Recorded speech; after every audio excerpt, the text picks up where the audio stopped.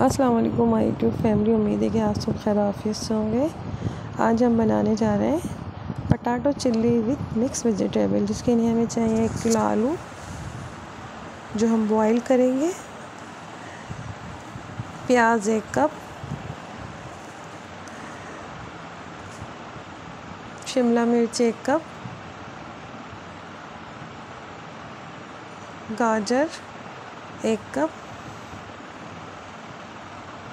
हरी प्याज एक cup cornflour दो कप, टमाटर केचप एक कप ऑयल एक कप, जिसमें हम सब मसाला जो अपना फ्राई करेंगे। और ये कुछ मसाला रहते हैं, गोला मिर्च, गरम मसाला, काले मिर्च, सौंफ और चाइनीज़ सॉल्ट हसब ज़रूरत इसको हम बॉईल करके ये हमने आलू बॉईल कर लिए। देखिए, अच्छी तरह हमने पीस लिए। मैंने इनको अच्छी तरह पीस लिया है ग्लेंडर में ताकि इसमें कोई कुटली नहीं रहे, क्योंकि हम फिर जिस तरह की शेप देना चाहेंगे, इसको नेगेट्स की, कबाबों की, या जो भी आपको पसंद हो, आपके बच्चों को पसंद आए, बच्चों को बहुत पसंद आती है रेसिपी फिर इसमें हम शामिल करेंगे अपनी ग्रीन प्याज, काली मिर्चें और हसब ज़रूरत नमक कॉर्नफ्लावर एक कप कॉर्नफ्लावर और इसको हम कॉर्नफ्लावर को, अगर आपको कम लगे तो आप और डाल सकते हैं इसमें। हमें आटे की तरह इसको गूंदना है, ताकि शेप बन जाए आसानी से, ये देखिए। ये पेड़ आसानी से बन रहे ये आटे की तरह गूंद लिया है मैंने, और ये पच्चीस ग्राम का कुछ होगा। ये मैं मशरूम टाइप की शेप दे रही हूँ इसको। कि हमें कोई ख़ाली बोतल उसको अच्छी तरह वॉश करके, ये देखिए मैंने, ये सारी शेप दे दी है। आपके जो दिल करे, आप वो दें। फिर हम इसको तेज़ गर्म पानी में उबाल लेंगे। जब तक ऊपर नहीं आते, ये ऊपर आना शुरू हो गया, हमने एक एक करके इनको तेज़ ठंडे पानी में डाला ताकि एज इट इज़ रहे। मेल्ट ना हो। एक कप पानी लिया है हमने।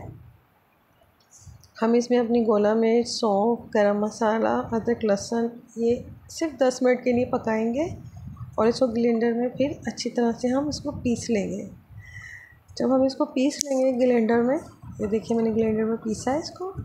जब हम इसको ग्लेंडर में पीस लेंगे तो ये मसाला जिस तरह हम पीसते हैं ये उस फॉर्म में आ जाएगा। ये देखिए ये उस फॉर्म में आ गया है। हम एक कप अपना लेंगे ऑयल और उसमें हम लहसुन का भगार लगाएँगे अच्छी उसमें हमने अपना ये मसाला डाल दिया है पीस के।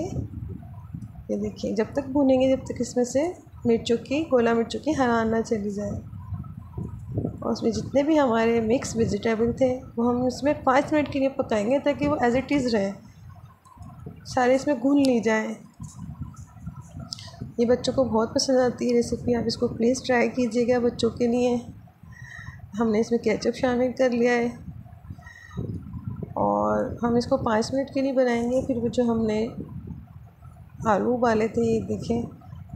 आपकी मर्ज़ी, आपके बच्चों को जो शेप पसंद आए, आप उस शेप में बनाइए।